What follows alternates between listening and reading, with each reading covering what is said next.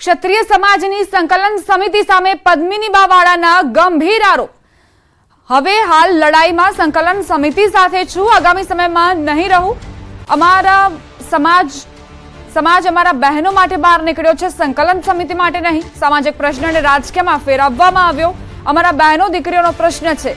લડત આપે છે, તેને આપવા નથી દેતા. અમને બોલવા નથી દેતા. સમાજને ગુમરાહ કર્યો, આખી રણનીતિ બગાડી નાખી. સાચી લડાઈ લડનાર બહેનોનું અપમાન કરાઈ રહ્યું છે તેવા આરોપો મૂક્યા પદ્મિનીબાએ તબિયત લથડતા પદ્મિનીબા વાળાને એમ્સ હોસ્પિટલમાં ખસેડાયા હતા. ચોવીસ દિવસના ઉપવાસ બાદ પદ્મિનીબાએ મહંત માયાનંદજી માતાજીના હસ્તે પારણા કર્યા. ચૌદ દિવસના ઉપવાસ બાદ પદ્મિનીબાઈ મહંત માયાનંદજી માતાજીના હસ્તે પારણા કર્યા. પારણા કર્યા બાદ સંકલન સમિતિ સામે પદ્મિનીબાના આક્ષેપો તો પદ્મિનીબાએ સંકલન સમિતિ પર ગંભીર આરોપો મૂક્યા છે. સંકલન સમિતિ પાર્ટ ટુ જે કે છે, સંકલન સમિતિની અમે સાથે છીએ. અત્યારે આ લડાઈમાં બાકી ભવિષ્યમાં હું સંકલન સમિતિ સાથે નહીં રહું, કેમ કે આખા અમારા સમાજની લડાઈ છે. અને સંકલન સમિતિને જે પણ લાગતું હોય, સમાજ અમારા બહેનો માટે નીકળ્યો છે, સંકલન સમિતિ માટે નહીં. રાજકીય રૂપ રૂપ, મહેરબાની કરી પગે લાગુ. આ સામાજિક પ્રશ્નને રાજકીયમાં ફેરવવામાં આવ્યો છે. આમાં રાજકીય ન લઈ આવો. અમારા બેનું દીકરીઓનો પ્રશ્ન છે. અને સામાજિક જ રાખો. હવે સંકલન સમિતિએ તો કંઈક ત્રણસો, સાડા ત્રણસો ફોર્મ આમ ભરવાનું કીધું હતું એ તો કંઈ થયું નથી. ક્યાં ગુમરા કરે છે? લડત આપે છે ને આપવા નથી દેતા, બોલવા નથી દેતા. ગુમરા કર્યો આખા સમાજને. કંઈ ખબર જ નથી પડતી. એટલે હવે શું કરે છે એ લોકો? એની સાથે અમે છીએ. જે કરે. ને મારો સમાજ છે ને એની માટે મને અત્યારે ખૂબ દુઃખ થયું છે. કે મારા સમાજ સાથે મારા સમાજને ગુમરાહ કરી કરવામાં આવ્યો છે. પેલા તો સંકલન સમિતિ એવી વાતો કરતા હતા, કોઈને વોટ જ નથી આપવો ભાજપની, કોંગ્રેસની કે આપની કોઈને વોટ નહીં, હવે પાછું ચેન્જ થઈ ગયું. અમે કોઈ કન્ફ્યુઝ થઈ જાય છે, કંઈ ખબર નથી પડતી શું કરવું આગળ. રણનીતિ અમારી આખી બગાડી નાખી. નથી અમને બોલવા આપ્યા. હંમેશા અમારું અપમાન કર્યું છે. તો આજે હું અપમાન માટે તો હું બીજે લડત આપું છું. સમાજને જ અમારું અપમાન કરે. તો શું વિચારવાનું? જે બહેનો સાચી લડત આપે છે એને ઇગ્નોર કર્યા છે. સંકલન સમિતિ પાર્ટ ટુ જે કે છે, સંકલન સમિતિની અમે સાથે છીએ. અત્યારે આ લડાઈમાં બાકી ભવિષ્યમાં હું સંકલન સમિતિ સાથે નહીં રહું. કેમ કે આખા અમારા સમાજની લડાઈ છે. તો પદ્મિની બાને આપ સાંભળી રહ્યા હતા. તેમનું કહેવું છે કે અત્યારે હું સંકલન સમિતિ સાથે છું, પરંતુ ભવિષ્યમાં તેમની સાથે જ રહું તે નિશ્ચિત નથી. કારણ કે અત્યારે જે વલણ અપનાવી રહી છે સંકલન સમિતિ, તે સમાજની સમાજની જે દીકરીઓ છે, બહેનો છે, તેની વિરુદ્ધ છે. સમાજની સ્ત્રીઓ માટે, સમાજની મહિલાઓ માટે આ આંદોલનની શરૂઆત થઈ હતી, પરંતુ હવે આ આંદોલન ભટકી ગયું છે તેવા આરોપો પણ તેમણે મૂક્યા. લડત આપનારને લડવા નથી દેતા, બોલવા નથી દેતા, તે પ્રકારના ગંભીર આરોપો પણ મૂક્યા છે. અને સાથે જ તેમણે કહ્યું કે સામાજિક પ્રશ્ન છે આ, જેને રાજકીયમાં ફેરવવા માટેના પ્રયત્નો પણ થઈ રહ્યા છે. તો આ ગંભીર આરોપો પદ્મિની બાય મૂક્યા છે. તેમની તબિયત લથડી હતી, જેના કારણે તેમને એમ્સમાં લઈ જવાયા. ત્યાં તેમની સારવાર કરાઈ. અને તેમને ચૌદ દિવસ બાદ પારણા પણ કરાવવામાં આવ્યા. એ દરમિયાન જ્યારે પ્રતિક્રિયા લેવાનો પ્રયત્ન કરવામાં આવ્યો તો તેમણે આ ગંભીર આરોપો મૂક્યા છે કે અમે આ શરૂઆત કરી હતી, મહિલાઓએ શરૂઆત કરી હતી, હવે તેમને ઇગ્નોર કરવામાં આવી રહ્યા છે, તેમની અનદેખી થઈ રહી છે જે બિલકુલ ઉચિત નથી અને એ અમે ચલાવી પણ નહીં લઈએ. એટલે જ અત્યારે ભલે સંકલન સમિતિ સાથે હોઈએ, પરંતુ ભવિષ્યમાં સંકલન સમિતિ સાથે હોઈએ તે નિશ્ચિત નથી. સમાચારોમાં હવે આગળ વધીએ. કોંગ્રેસે રાજકોટ ભાજપ ઉમેદવાર પરસોત્તમ રૂપાલાની ઉમેદવારી પર સવાલો ઊભા કરતા વિવાદ થયો. પરેશ ધાનાણીના આક્ષેપો પર ભાજપે પણ પ્રતિક્રિયા આપી. વિવાદ ત્યારે શરૂ થયો જ્યારે રાજકોટ કોંગ્રેસ ઉમેદવાર પરેશ ધાનાણીના ભાજપ પર શાબ્દિક પ્રહાર કર્યા. કોંગ્રેસમાં રૂપાલા સામે ઉમેદવારી કરવા શરતી રીતે તૈયાર થયેલા ધાનાણીએ રૂપાલાની ઉમેદવારી પર આશંકા કરી સવાલ કર્યા. ધાનાણીએ રૂપાલાને સંભવિત ભાવિ પ્રતિસ્પર્ધી ગણાવ્યા.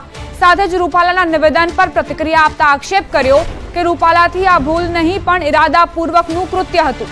તો ધાનાણીના આક્ષેપો પર ભાજપ પ્રવક્તા રાજુ ધ્રુવે પ્રતિક્રિયા આપતા કહ્યું કે પરેશભાઈ અમરેલી છોડી રાજકોટ લડવા આવ્યા છે અને તેઓ દિવા સ્વપ્નો જોઈ રહ્યા છે. તેમણે દાવો કર્યો કે રૂપાલા જીતશે અને ધાનાણી હારશે. તેમણે ધાનાણી સામે જ રાજકોટના વાતાવરણને ડહોળવાનો આક્ષેપ કર્યો. ક્ષત્રિય સમાજ હર હંમેશ ભાજપ સાથે રહ્યો છે તેવો દાવો પણ તેમણે કર્યો.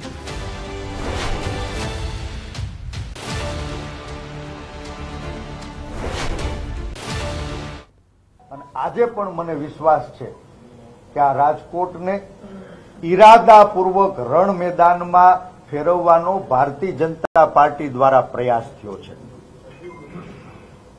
ભારતીય જનતા પાર્ટીના ઉમેદવાર અને સંભવિત ભાવિ પ્રતિસ્પર્ધી. સંભવિત ભાવિ પ્રતિસ્પર્ધી. પોતે શિક્ષક તરીકેની જવાબદારી નિભાવી છે. ખૂબ જ્ઞાની છે. લોકો એવું માને કે સારા વાચક પણ હશે. તો એનાથી હું નથી માનતો કે આવી ભૂલ થાય.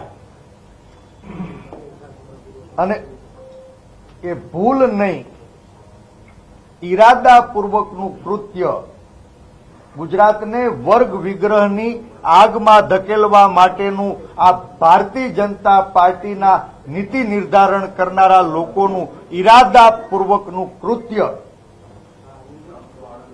એની અમલવારી આ શાંત રાજકોટના આંગણે સુકામે આ રંગીલા રાજકોટના આંગણે સુકામે એ હવે રાજકોટના જનજનના મનમાં સવાલ થાય છે.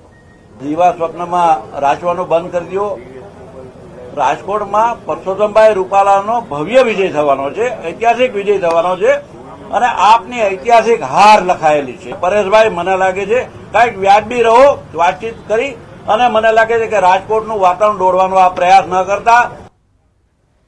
રાજકોટ કોંગ્રેસ ઉમેદવાર પરેશ ધાનાણીએ ભાજપ પર શાબ્દિક પ્ર- પ્રહાર કરતા કહ્યું કે ભાજપમાં વિવાદનું કારણ કોંગ્રેસથી ગયેલા લોકો છે.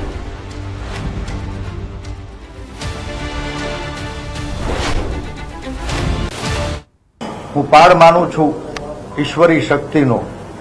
કોંગ્રેસનો બધો જ કકડાટ છેલ્લા પંદર વર્ષમાં વટલાય અને કમલમની કાર્યાલયે ગયો અને એનું પરિણામ આજ ગુજરાત ભાજપમાં દાવાનળની સ્થિતિ છે. ભારતીય જનતા પાર્ટીના બે ઉમેદવારોને પાછા ખેંચી લીધા અને આ ત્રીજાને પાછા ખેંચવા કે કેમ, એનો આજે પણ મને સવાલ લાગે. કમલમની કાર્યાલયે ખુરશી સાફ કરવાનું કામ કરે.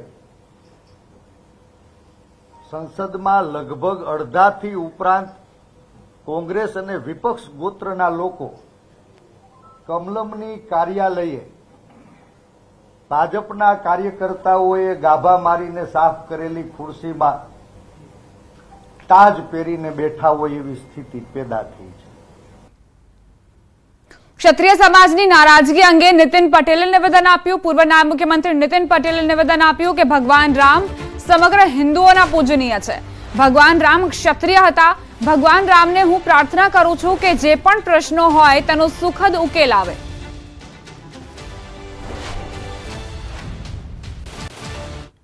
જો ભગવાન રામ સમગ્ર હિન્દુઓના પૂજ્ય છે, ભગવાન રામ ક્ષત્રિય હતા.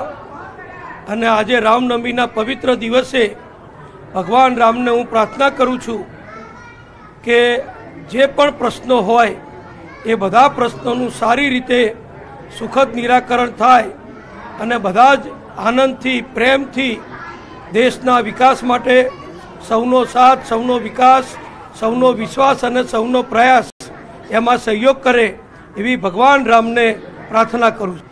રામ એટલે સત્ય રામ એટલે પવિત્રતા રામ એટલે ઉદારતા અને રામ એટલે ક્ષમા હવે આગળ વાત ભગવાન રામના જન્મોત્સવની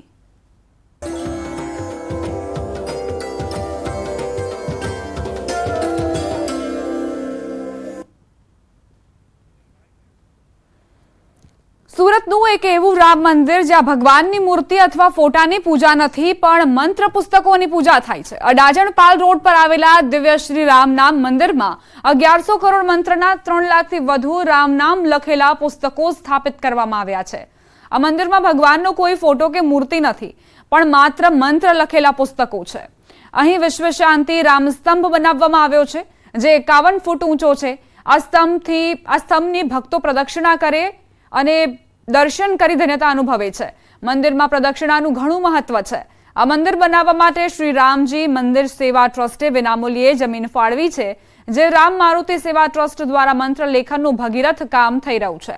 અહીં મંત્રલેખન પુસ્તક રૂપી ભગવાન શ્રી રામને બિરાજમાન કરવામાં આવ્યા છે.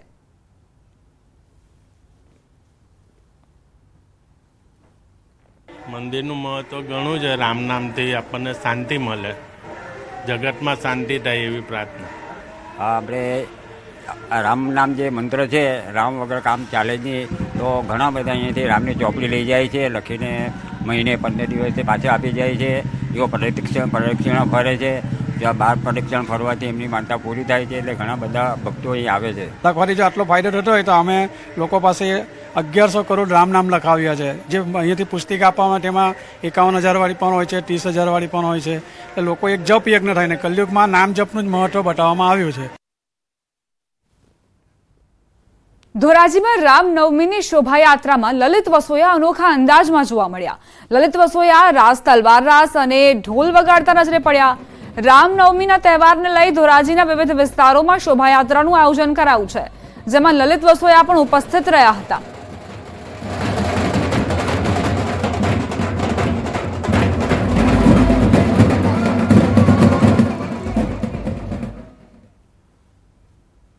રામનવમી નિમિત્તે રાજકોટમાં ભાજપ ઉમેદવાર પરસોત્તમ રૂપાલાએ રથયાત્રાને પ્રસ્થાન કરાવ્યું.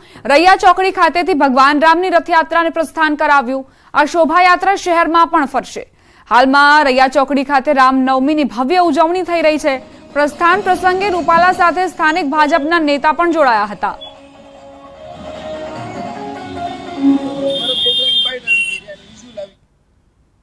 અયોધ્યાના રાજા રામ ભગવાન શ્રી રામની આજે રામનવમી છે એટલા માટે સમગ્ર દેશમાં ભગવાન શ્રી રામ પ્રત્યેની આસ્થા, શ્રદ્ધા અને ભગવાન શ્રી રામના જીવન ચરિત્રમાંથી શીખવા જેવા વિષયો પ્રત્યેની પ્રેમ એ દેખાઈ રહ્યો છે. હું આજે ગર્વની લાગણી અનુભવું છું કે અયોધ્યામાં શ્રી રામલલાના પધરામણી બાવીસ તારીખે થઈ પછીની આ પહેલી રામનવમી એટલે સમગ્ર દેશવાસીઓને ખૂબ ખૂબ શુભકામના પાઠવું છું. ખૂબ ખૂબ શુભેચ્છા આપું છું. કોંગ્રેસ કાર્યકરોએ લગાવ્યા જય શ્રી રામના નારા. અમરેલી કોંગ્રેસના ઉમેદવાર જેની ઠોમરે રામનવમીના નિમિત્તે રામજી મંદિરે ભગવાન રામના દર્શન કરી આરતી કરી. આ સમયે કોંગ્રેસ કાર્યકરો પણ જોડાયા.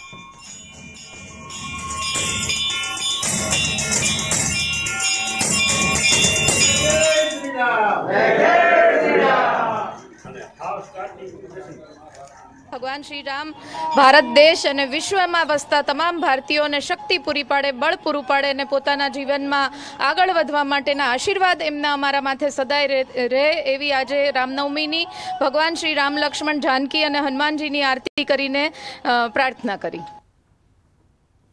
દાહોદના ફતેપુરાના બાર સલેડા ગામે બાળ લગ્ન અટકાવવામાં આવ્યા. સગીર વયના બાળકની જાન નીકાળવામાં આવી રહી હતી. તે જ સમયે બાળ સુરક્ષા એકમના અધિકારીઓ ત્યાં પહોંચ્યા અને વાલીઓને પોલીસ સ્ટેશન લઈ જઈ સમજણ આપવામાં આવી હતી. સમજાવટ બાદ લગ્ન મોકૂફ રખાયા હતા.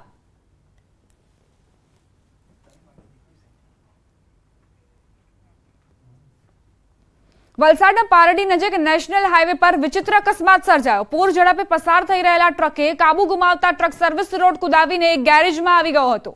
અકસ્માતમાં ગેરેજમાં પંચર બનાવી રહેલા મોહમ્મદ આફરોઝનું ઘટના સ્થળે જ મોત થયું, જ્યારે અન્ય એક યુવકને ઈજા પહોંચી. બનાવ બાદ આસપાસના લોકો એકત્રિત થઈ ગયા હતા. પારડી પોલીસે સ્થળ પર પહોંચી કાર્યવાહી હાથ ધરી.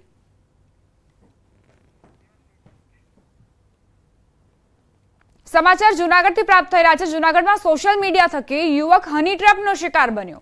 જૂનાગઢની યુવતીએ રાજકોટના યુવકના ન્યૂડ ફોટા અને વીડિયો ઉતારી ધમકી આપી પચીસ લાખની માંગણી કરી હતી. ભોગ બનનાર યુવકે જૂનાગઢ પોલીસમાં ફરિયાદ કરતા ચાર લોકોની પોલીસે ધરપકડ કરી. યુવક અને યુવતી વોટ્સએપના માધ્યમથી એકબીજાના સંપર્કમાં આવ્યા હતા. યુવતીએ યુવકને એક રહેણાંક વિસ્તારમાં બોલાવી ન્યૂડ ફોટો અને વીડિયો લઈ લીધા બાદ પૈસાની માંગણી કરી. યુવકે સાત લાખના હપ્તા આપવામાં આવશે તેવું સમાધાન થયું હતું. આ ટોળકીએ યુવકના હાથમાં રહેલી ચાલીસ હજારની સોનાની વીંટી લઈ લીધી હતી. પોલીસે હિના વાઢેર, નરસિંહ ઠુમ્મર, રાહુલ પરમાર અને હિના વિરડિયાની ધરપકડ કરી વધુ કાર્યવાહી શરૂ કરી. મોબાઈલથી મિત્રતા બાંધી વોટ્સઅપ ચેટ કરેલ. ત્યારબાદ પોતાના ઘરે અહીંયા જોશીપરા બોલાવાલ એવું બાનું બતાવી. અને આ જે યુવતી છે હિનાબેન કાનજીભાઈ વાઢેર. તેમને બંને ન્યૂડ થયેલા. અને આ જે ફરિયાદી છે તેના, આ પ્રકારના ફોટો પાડી લીધેલા હવે નજર કરીશું ટોપ થ્રી ન્યૂઝ પર. અયોધ્યામાં ભગવાનને કરાયું સૂર્ય તિલક. મોટી સંખ્યામાં ઉમટ્યા ભક્તો. રામ જન્મોત્સવની કરાઈ ઉજવણી. રાજકોટમાં પરેશ ધાનાણીના ભાજપ પર પ્રહાર કહ્યું કોંગ્રેસનો બધો કકડાટ ભાજપમાં ગયો. રૂપાલા સંભવિત પ્રતિસ્પર્ધી. રામનવમીની શોભાયાત્રામાં લલિત વસોયાનો અનોખો અંદાજ તલવાર રાસ અને ઢોલ વગાડતા નજરે પડ્યા.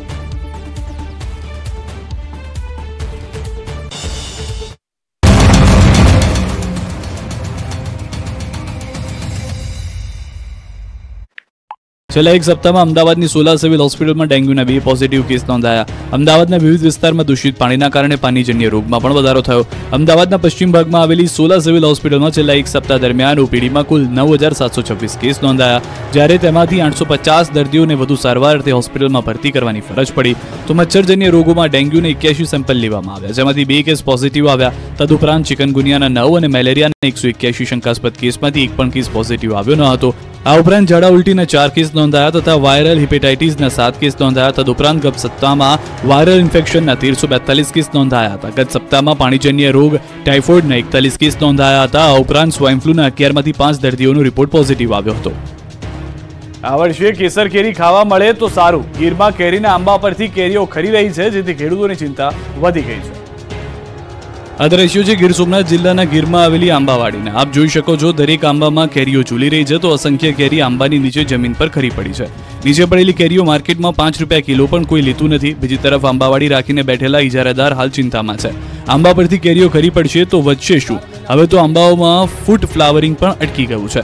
દસ દિવસ પહેલા જે નાની કેસર કેરીના એક કિલોના ભાવ પચાસથી સાહીઠ રૂપિયા હતા, તે કેસર કેરી આજે પાંચ રૂપિયામાં ખેડૂતો પાસેથી વેપારી ખરીદી રહ્યા છે. ગત વર્ષની સરખામણી આ વખતે કેસર કેરી માર્કેટમાં માત્ર ચાલીસ ટકા આવે એવી સંભાવના છે. આ ઘટનાને લઈને કૃષિ વૈજ્ઞાનિકોનું કહેવું છે કે આ વર્ષે પ્રથમ તબક્કાનું ફ્લાવરિંગ આવ્યું છે.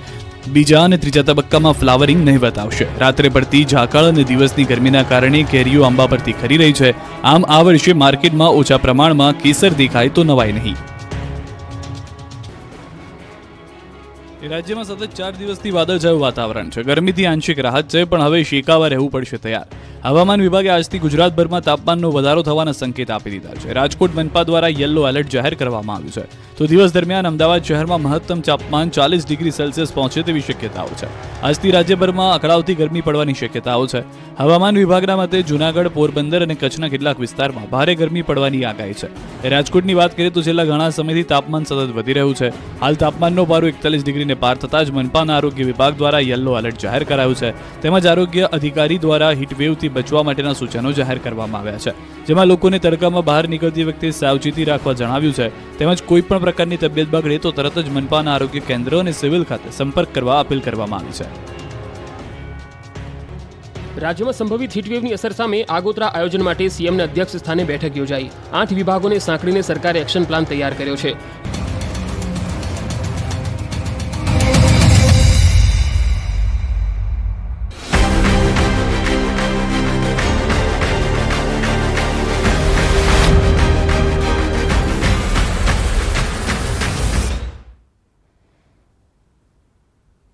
વિરામ બાદ સ્વાગત. યુનેસ્કો તરફથી જેને વર્લ્ડ હેરિટેજ સિટીનો દરજ્જો મળ્યો છે તે શહેર એટલે અમદાવાદ. સાબરમતી નદીના કાંઠે વસેલા અમદાવાદ શહેરની પૂર્વ લોકસભા બેઠક પર આ વખતે પટેલ વર્સિસ પટેલનો જંગ જામવાનો છે. સતત બીજી વાર ભાજપે હસમુખ પટેલને મેદાને ઉતાર્યા છે. ત્યારે ઐતિહાસિક શહેર અમદાવાદ પૂર્વની બેઠકનો શું છે મિજાજ? અને સાંસદે કેવા કર્યા છે કામ? જુઓ અમારી વિશેષ રજૂઆત સંસદના સરવૈયામાં.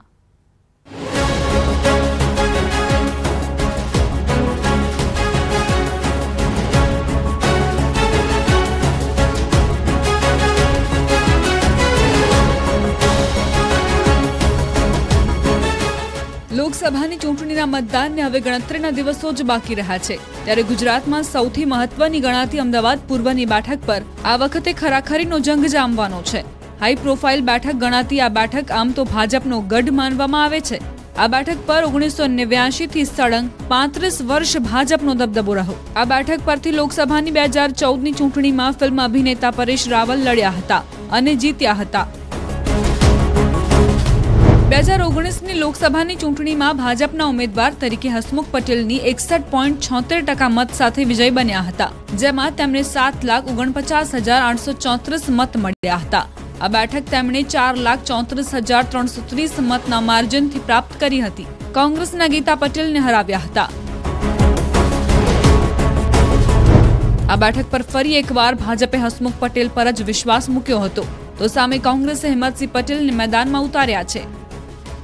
પાટીદારોનો ગઢ કહેવાતી અમદાવાદ પૂર્વની લોકસભા બેઠકમાં મોટા ભાગે ગ્રામ્ય વિસ્તારો તેમજ અમદાવાદ જિલ્લાનો સમાવેશ થાય છે. નવા સીમાંકન બાદ બે હજાર આઠમાં અમદાવાદ શહેરમાં પૂર્વ અને પશ્ચિમ લોકસભા બેઠક અસ્તિત્વમાં આવી. બે હજાર નવમાં પ્રથમ વખત ચૂંટણી યોજાઈ હતી અને તેના પ્રથમ સંસદ સભ્ય ભારતીય જનતા પાર્ટીના હરીન પાઠક હતા. અહીં દેશના અનેક રાજ્યોમાંથી આવેલા લોકો વસવાટ કરે છે. આ બેઠકમાં ઉત્તર ભારતીયો તેમજ સૌરાષ્ટ્ર તથા ડાયમંડ વેપારીઓનો બહોળો વર્ગ વસે છે. એક જમાનામાં અહીં કાપડની મિલો ધમધમતી હતી અને મિલના ભૂંગળાના અવાજ સાથે દિવસની શરૂઆત થતી હતી.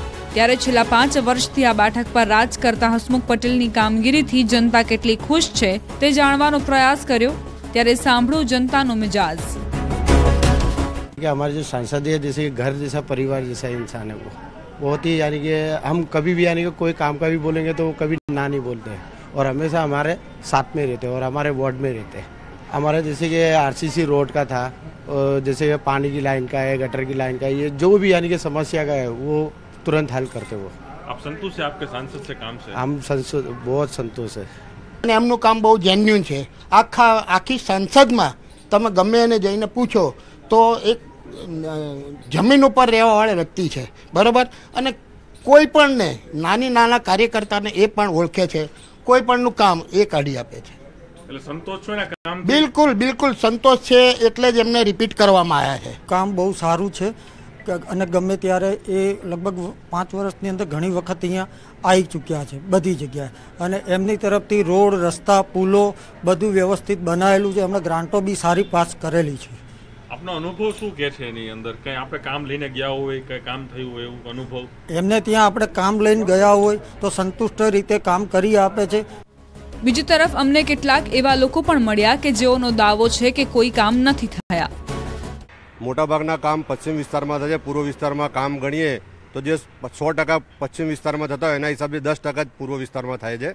તમે બોપલનો બગીચો જુઓ કે ન્યૂ રાણીપનો બગીચો જુઓ અને બાપુનગરનો બગીચો જુઓ અને સરસપુરનો બગીચો જુઓ ફરક તમને તરત દેખાઈ જશે. ત્યારે હસમુખ પટેલની સંસદમાં કામગીરીના રિપોર્ટ પર નજર કરીએ. તો અમદાવાદ પૂર્વના સાંસદ હસમુખ પટેલે છેલ્લા પાંચ વર્ષ દરમિયાન સંસદમાં ત્રાણું ટકા હાજરી આપી.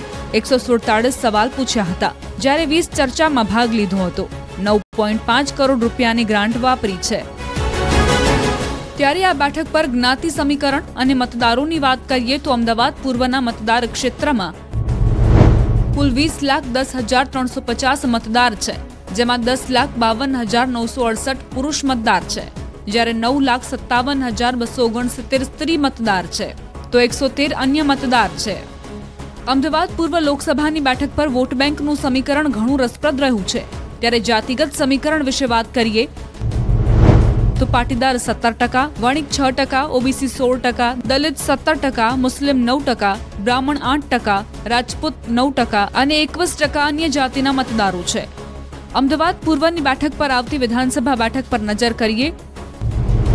તો અમદાવાદ પૂર્વ લોકસભા બેઠકમાં ગાંધીનગર દક્ષિણ, દહેગામ, વટવા, નિકોલ, નરોડા ઠક્કરબાપાનગર અને બાપુનગર વિધાનસભા બેઠકનો સમાવેશ થાય છે. આ તમામ બેઠકો બે હજાર બાવીસની વિધાનસભા ચૂંટણીમાં ભાજપે જીતી હતી. ત્યારે વિધાનસભાની ચૂંટણીના પરિણામ અને પાંચ વર્ષની કામગીરીના જોરે ફરી હસમુખ પટેલે જીતવાનો દાવો કર્યો છે. તો કોંગ્રેસના ઉમેદવાર હિંમતસિંહને વિશ્વાસ છે. અમદાવાદ પૂર્વ પર પહેલીવાર પંજાનો પંચ લાગશે. અને આ વખતે પણ સાત લાખ કરતાં વધુ માર્જિનથી અમારો વિજય નિશ્ચિત છે. વાત રહી વિકાસની તો સતત મોટા મોટા કામો, બાર હજાર કરોડના વિકાસના કામો મારા લોકસભા વિસ્તારમાં થયા છે. એમાં સૌથી વિશેષ ખારીકટ કેનાલ ઉપર જે આરસીસી રોડ બની રહ્યો છે, એનાથી આવનારા દિવસોમાં ત્યાં પરિવહન તો સરળ બનશે જ. સાથે સાથે એક કોમર્શિયલ લાઇફલાઇન વિકાસ થશે અને એનાથી યુવાનોને રોજગારી પણ મળવાની છે. લોકોને જે જીવન જરૂરિયાતની જે મૂળભૂત જે જરૂરિયાત છે, એનાથી આજ દિન સુધી ભાજપનું શાસન રહ્યું છે અને વંચિત રહ્યા છે લોકો, ના શિક્ષણની કે ના આરોગ્યની. અને તમે જુઓ છો, છાપાઓમાં પણ આવે છે, મીડિયાઓમાં પણ આવે છે કે એમનું જે વહીવટી તંત્ર છે, મહાનગરપાલિકાનું, ઉભરાતી ગટર ને પોલ્યુશનનું પાણી આજે નિકોલ જેવા વિસ્તારમાં કે જે સમગ્ર વિસ્તાર સોસાયટીઓનો છે, ત્યાં છ છ મહિના સુધી લોકો ટેન્કરોથી કે પાણીના બોટલોથી પાણી મંગાવીને પાણીના કેરબાઓથી લોકો ચલાવી રહ્યા છે. આ બેઠક ભાજપની પરંપરાગત બેઠક ગણાય છે. જો કે આ વખતે બંને ઉમેદવાર પાટીદાર છે, એટલે આ મતદાતાઓ કઈ તરફ વળે છે તે જોવું રહ્યું.